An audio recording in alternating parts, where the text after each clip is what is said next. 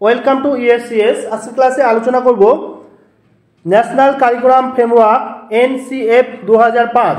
এই টপিকটি সমগ্র বিষয়ের, অর্থাৎ সিডিপি ইভিএস ম্যাথ ইংলিশ এবং বাংলা সবকটা বিষয়েরই মধ্যে রয়েছে।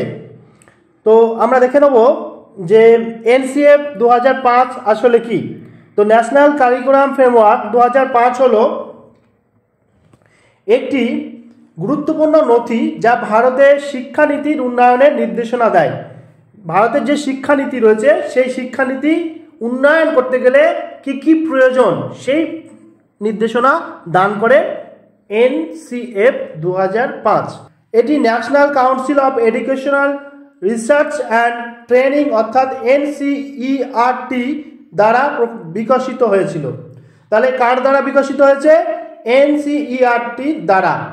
এনসিএফ দু হাজার পাঁচ ন্যাশনাল কারিকুলাম ফ্রেমওয়ার্ক আরও বিস্তারিত জেনে নেব, কিসের জন্য হয়েছিল? এটি একটি উন্মুক্ত প্রতিষ্ঠান যা স্কুল শিক্ষার জন্য প্রযুক্তিগত সংস্থান সহায়তা প্রদান করে। পাঠ্যক্রম ডিজাইন করার জন্য এবং শিক্ষার উচ্চমান নিশ্চিত করার জন্য একটি নিয়মিত কার্যকলাপ হিসেবে স্কুল পাঠ্যক্রম পর্যালোচনা করে। তাহলে ন্যাশনাল কারিকুলাম ফ্রেমওয়ার্কের কাজ কি? একটি পাঠ্যক্রম ডিজাইন করা এবং উচ্চ শিক্ষার মান নিশ্চিত করা। এই দুটো বিষয় আমরা বলতে পারি। আর কি বলতে পারি?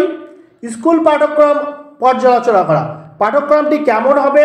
কীভাবে হবে? কোন কোন বিষয়ের উপরে নির্ভর করে পাঠ্যক্রম তৈরি করতে হবে? এই বিষয়গুলো দেখে কে? এনসিএফ, অর্থাৎ ন্যাশনাল কারিকুলাম ফ্রেমওয়ার্ক। নেক্সট দেখো, এনপিই উনিশশো ছিয়ানব্বই এবং পিওএ উনিশশো বিরানব্বই ন্যাশনাল কারিকুলাম ফ্রেমওয়ার্ক প্রস্তুত ও প্রচারে এনসিইআরটিকে একটি বিশেষ ভূমিকা প্রদান করে। তাহলে এই দুটো সহায়তা করে কাকে ন্যাশনাল কারিকুলাম ফ্রেমওয়ার্ক তৈরির জন্য এনসিইআরটিকে সহায়তা করেছিল। নেক্সট চলে আসো, পরে দেখো। এনসিএফ দু হাজার পাঁচে যে কমিটি হয়েছিল, সেই কমিটিটা কেমন ছিল, আমরা দেখে নেব। বিশিষ্ট বিজ্ঞানী ও পণ্ডিত অধ্যাপক যশপালের সভাপতিত্বে একটি জাতীয় স্টিয়ারিং কমিটি গঠন করা হয়। কমিটিতে বিভিন্ন শাখার পণ্ডিত, অধ্যক্ষ এবং শিক্ষক, সুপরিচিত এনজিওএস প্রতিনিধি এবং এনসিইআরটি সদস্য সহ পঁয়ত্রিশ জন সদস্য অন্তর্ভুক্ত ছিল। তাহলে এখানে আমরা বলব কি? এখানে মনে রাখতে হবে, সভাপতিত্ব কে করেন যশপাল এবং টোটাল কতজন সদস্য ছিল? পঁয়ত্রিশ জন সদস্য ছিল। এনজিওর লোক ছিল অনেক। টোটাল পঁয়ত্রিশ জন সদস্য। এই কাজটি একুশটি জাতীয় ফোকাস গ্রুপ দ্বারা সমর্থিত ছিল। জাতীয় ফোকাস কটা গ্রুপের সমর্থন ছিল এখানে? একুশটি। এই ডেটাবেস বিষয়গুলো আমরা মনে রাখব। নেক্সট চলে আসো। এনসিএফ দু হাজার পাঁচের বৈশিষ্ট্য কী ছিল? দেখো এখানে ভারত জুড়ে স্কুলে পাঠ্যক্রমের উন্নয়ন, শিক্ষাবিদ্যা এবং মূল্যায়নের জন্য নির্দেশিকা এবং নীতির রূপরেখা দেয় এনসিএফ দু হাজার পাঁচ। এনসিএফের কিছু গুরুত্বপূর্ণ বৈশিষ্ট্য ছিল। গুরুত্বপূর্ণ বৈশিষ্ট্যগুলো হলো শিশু কেন্দ্রিক দৃষ্টিভঙ্গি। শিশু কেন্দ্রিক দৃষ্টিভঙ্গি অর্থাৎ শিশুর উপরে বেশি দৃষ্টি দেওয়া। দেখো, শিশুর সামগ্রিক বিকাশের উপর দৃষ্টি নিবদ্ধ করে এনসিএফ দু হাজার পাঁচ। এছাড়াও শিক্ষার ক্ষেত্রে শিশুকেন্দ্রিক পদ্ধতির উপরে জোর দেওয়ার কথা বলা হয় এই এনসিএফ দু হাজার পাঁচে। তাহলে আমরা এখান থেকে মনে মনে রাখব দুটো বিষয়। একটা হলো সামগ্রিক বিকাশ আর একটা হলো শিশু কেন্দ্রিকতা নেক্সট চলে আসো, গঠনবাদী শিক্ষা। এনসিএফ দু হাজার পাঁচ শেখার জন্য একটি গঠনবাদী দৃষ্টিভঙ্গি প্রচার করে, যেখানে শিক্ষার্থীরা সক্রিয়ভাবে অনুসন্ধান এবং সমস্যা সমাধানের মাধ্যমে তাদের জ্ঞান এবং উপলব্ধি তৈরি করে। কি হয়েছে? সক্রিয়ভাবে অনুসন্ধান করবে, দেখবে খুঁটিয়ে খুঁটিয়ে বুঝবে এবং সমস্যাকে সমাধান করবে, তার মাধ্যমে তাদের জ্ঞানকে ডেভেলপ করবে এবং উপলব্ধি করতে অভ্যস্ত হবে। এটি হাতে কলমে অভিজ্ঞতা এবং সহযোগিতামূলক শিক্ষা এবং সমালোচনার চিন্তাভাবনার উপর জোর দেয়। তাহলে এনসিএ, বুঝতেই পারছ, এক একটা পয়েন্ট দেখে যে কেন প্রস্তুত করা হয়েছিল, কিসের জন্য করা হয়েছিল এই বিভিন্ন বিষয়গুলো কিন্তু বিবেচনা করে শিক্ষার লক্ষ্য, শিক্ষার উদ্দেশ্য, পাঠক্রম, সামগ্রিক বিষয়টা কিন্তু খেয়াল করে এই ন্যাশনাল কারিকুলাম ফ্রেমওয়ার্কটা তৈরি হয়েছে। মানে এই বিষয়গুলো দেখার দায়িত্ব হলো ন্যাশনাল কারিকুলাম ফ্রেমওয়ার্কের নেক্সট চলে আসো। হোলিস্টিক ডেভেলপমেন্ট হোলিস্টিক মানে কি? ফ্রেমওয়ার্ক, এই ফ্রেমওয়ার্ক অর্থাৎ এনসিএ ফ্রেমওয়ার্কটা সামগ্রিক উন্নয়নের গুরুত্বের উপর জোর দেয়।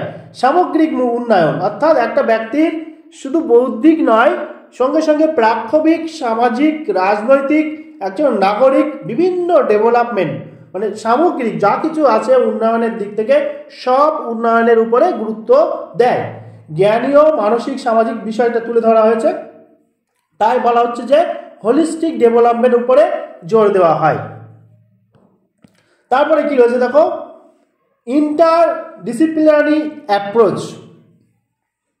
ফ্রেমওয়ার্ক শেখার জন্য, অর্থাৎ এনসিএফ ন্যাশনাল কারিকুলাম ফ্রেমওয়ার্ক শেখার জন্য একটি আন্তঃবিভাগীয় পদ্ধতিকে উৎসাহিত করে। বিভিন্ন বিষয়ের ক্ষেত্রগুলিকে একীভূত করে এবং তাদের মধ্যে সংযোগের প্রচার করে। অর্থাৎ যে সকল বিষয় রয়েছে, শেখার সব বিষয়গুলোকে একীভূত করে এক জায়গায় নিয়ে আসা হয়। এবং সেখান থেকে একটার সঙ্গে আর একটা সংযোগ লাগানো হয়, তাহলে কি হবে? কমিউনিকেশনের মাধ্যমে শিক্ষার্থীরা ভালোভাবে বুঝতে পারবে, সম্যক ধারণা পাবে। এছাড়াও দেখো, বলা হচ্ছে এটি জ্ঞানের এবং বাস্তব জীবনের অভিজ্ঞতার মধ্যে সংযোগ স্থাপনের গুরুত্বের উপরেও জোর দেয়। নেক্সট দেখো, মূল্যভিত্তিক শিক্ষা। মূল্যভিত্তিক শিক্ষা কি রয়েছে? এই কাঠামোটি শিক্ষার্থীদের মধ্যে মূল্যবোধ এবং নৈতিক নীতির বিকাশের গুরুত্বকে স্বীকৃতি দেয়। অর্থাৎ একটা শিক্ষার্থীর মধ্যে কি মূল্যবোধ গঠন করতে হবে এবং নৈতিক যে বিষয়গুলো রয়েছে, তার উপরে একটা মূল্যবোধ গঠন করতে হবে একটা শিক্ষার্থীর। এই বিষয়ের উপরে গুরুত্ব দেওয়া হয়েছিল। কেননা, যদি মূল্যবোধ গঠন না হয় একটা শিক্ষার্থীর মধ্যে, তাহলে কি সে জাতীয় সম্পদ হতে পারবে না। দেশের প্রতি তার মূল্য জ্ঞান থাকবে না। তাই এই ন্যাশনাল কারিকুলাম ফ্রেমওয়ার্ক এই মূল্যভিত্তিক শিক্ষার উপরে জোর দিয়েছে। নেক্সট দেখো, অন্তর্ভুক্তিমূলক শিক্ষা। এনসিএফ দু পাঁচ অন্তর্ভুক্তিমূলক শিক্ষার উপরে জোর দেয়। অন্তর্ভুক্তিমূলক শিক্ষা মানে কি? বিভিন্ন ক্যাপাসিটি সম্পন্ন শিক্ষার্থীদের একত্রভাবে শিক্ষাদান করা, যার লক্ষ্য প্রতিবন্ধী এবং প্রান্তিক সম্প্রদায়ের সকল ছাত্রছাত্রীদের শিক্ষার সমান সুযোগ ঘটানো। তাই না? যাতে করে একজন প্রতিবন্ধী শিশু বা একজন প্রান্তিক, অর্থাৎ গরিব সম্প্রদায়, সকলেই অন্তর্ভুক্তিমূলক শিক্ষার মধ্যে, মাধ্যমে এসে সকলের একসঙ্গে শিক্ষার অগ্রগতি ঘটে। এর ফলে কি হবে? প্রতিবন্ধকতা দূর হবে। শিক্ষাক্ষেত্রে যে প্রতিবন্ধকতা রয়েছে, অনেকে কি দৈহিক প্রতিবন্ধীর কারণে শিখতে পারে না, অনেকে কি অর্থের কারণে শিখতে পারে না, সেই প্রতিবন্ধকতাগুলো দূর হয়ে যাবে। নেক্সট চলে আসো। শিক্ষকের ক্ষমতায়ন। ন্যাশনাল কারিকুলাম ফ্রেমওয়ার্ক দু পাঁচ। কী করল? শিক্ষা ব্যবস্থায় শিক্ষকদের গুরুত্বপূর্ণ ভূমিকাকে স্বীকৃতি দিল। শিক্ষকের এখানে গুরুত্বপূর্ণ ভূমিকা থাকা অবশ্যই দরকার। এটি শিক্ষকদের পেশাগত উন্নয়নের উপর জোর দেয়।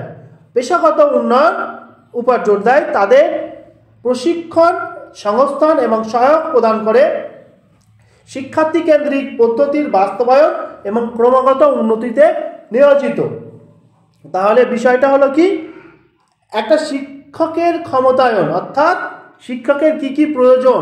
তার অ্যাবিলিটি থাকা প্রয়োজন, তার প্রশিক্ষণ থাকা প্রয়োজন এবং শিক্ষার্থীর সঙ্গে তাদের অ্যাপ্রোচ কেমন হবে সেই বিষয়ে দৃষ্টিপাত করে এই ন্যাশনাল কারিকুলাম ফ্রেমওয়ার্ক নেক্সট দেখো, শেখার জন্য মূল্যায়ন। শেখার জন্য মূল্যায়ন কি রয়েছে? এই ফ্রেমওয়ার্কে বলা হলো কি?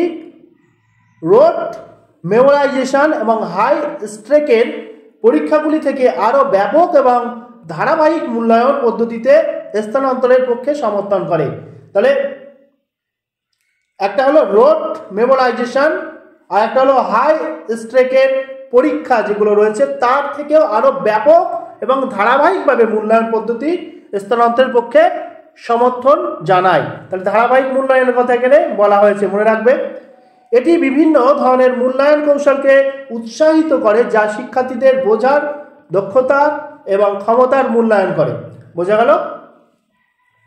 অর্থাৎ আমরা এখান থেকে পেলাম এটা, যে শেখার জন্য যে মূল্যায়ন পদ্ধতিগুলো রয়েছে, সেই মূল্যায়ন পদ্ধতির উপরে জোর দেয় ন্যাশনাল কারিকুলাম ফ্রেমওয়ার্ক দু এবারে চলে আসবে উদ্দেশ্য কি ছিল? দেখে নাও।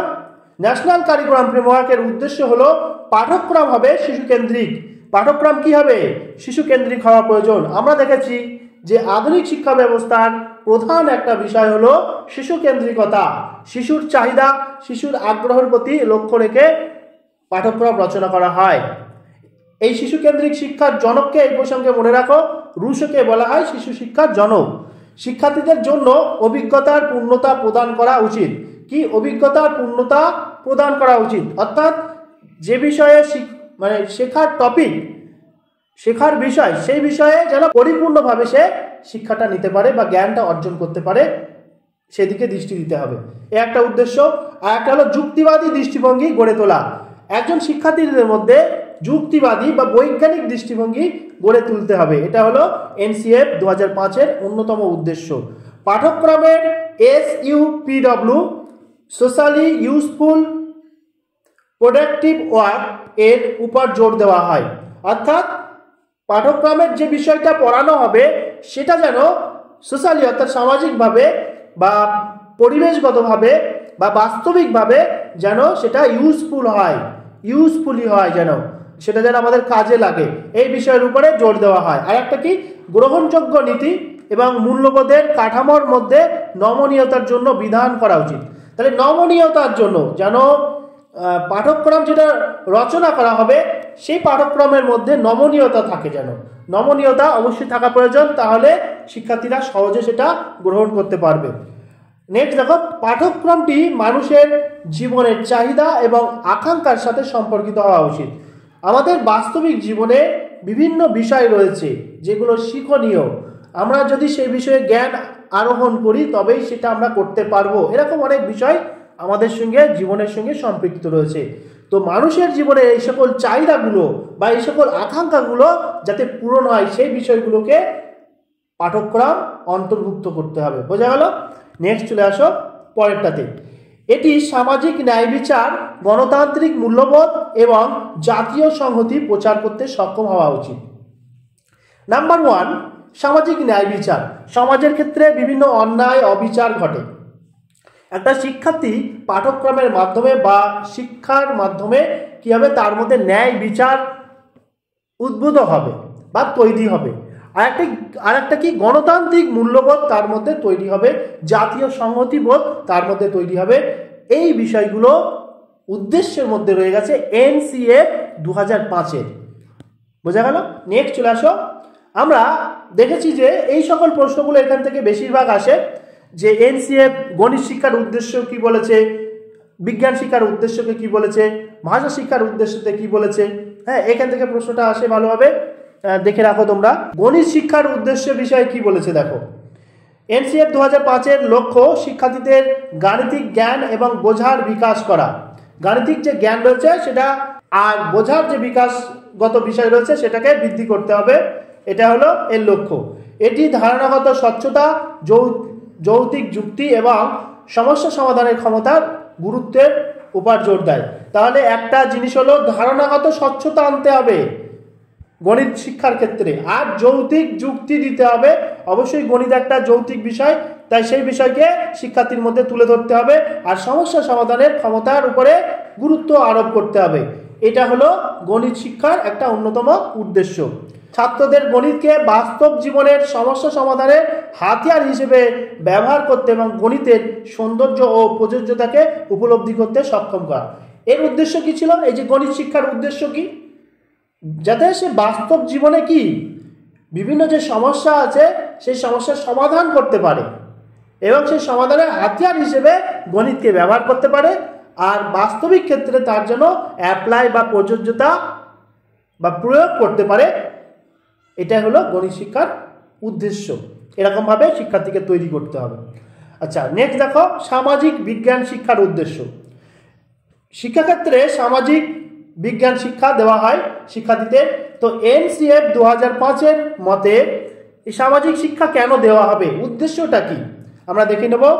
সামাজিক বিজ্ঞান শিক্ষার লক্ষ্য শিক্ষার্থীদের বিভিন্ন সামাজিক, রাজনৈতিক, অর্থনৈতিক এবং সাংস্কৃতিক প্রক্রিয়ার মধ্যে জটিল ইন্টারপ্লে বুঝতে সাহায্য করা যা মানব সমাজকে গঠন করে। তাহলে এক কথা আমরা বলতে পারি সমাজ বিজ্ঞানের প্রয়োজন এই কারণে যে মানব সমাজকে গঠন করা। আর মানব সমাজের মধ্যে অন্তর্ভুক্ত রয়েছে কি? সামাজিক বিষয়, রাজনৈতিক বিষয়, অর্থনৈতিক বিষয়, সাংস্কৃতিক বিষয় ইত্যাদি। নেক্সট দেখো, এটি শিক্ষার্থীদের তাদের চারপাশের বিশ্ব সম্পর্কে একটি সমালোচনামূলক দৃষ্টিভঙ্গি বিকাশে সহায়তা করে এবং সামাজিক সমস্যাগুলি চিন্তা করার এবং বিশ্লেষণ করার তাদের ক্ষমতা বাড়ায়। এনসিএফ দু হাজার পাঁচ এ বলা হচ্ছে, দেখো, বিজ্ঞান শিক্ষার উদ্দেশ্য। কেন আমরা বিজ্ঞান শিক্ষা অর্জন করব? বিজ্ঞান কেন আমাদের প্রয়োজন? এনসিএফ দু হাজার পাঁচ এ বিষয়ে কি বলছে, দেখে দাও উদ্দেশ্য হলো শিক্ষার্থীদের মধ্যে বৈজ্ঞানিক চিন্তাভাবনা, কৌতূহল এবং বৈজ্ঞানিক পদ্ধতি সম্পর্কে বোঝার বিকাশ করা। এটি সমালোচনামূলক চিন্তাভাবনা, যুক্তি এবং বৈজ্ঞানিক দাবি এবং প্রমাণ মূল্যায়ন করার ক্ষমতাকে উৎসাহিত করে। তাহলে বোঝা গেল কি? বৈজ্ঞানিক চেতনা যাতে শিক্ষার্থীর মধ্যে গড়ে ওঠে। সে বিষয়ে লক্ষ্য রাখতে হবে। আর একটা হলো বিজ্ঞান শিক্ষা শিক্ষার্থীদের অনুসন্ধান ভিত্তিক শিক্ষায় নিয়োজিত হতে উৎসাহিত করা, যেখানে তারা ঘটনা পর্যবেক্ষণ, প্রশ্ন এবং তদন্ত করতে পারে। অর্থাৎ সে নিজেই সব কিছু গবেষণা করতে পারে, নিজেই সব কিছু যেন অনুধাবন করতে পারে। এটা হলো বিজ্ঞান শিক্ষার উদ্দেশ্য।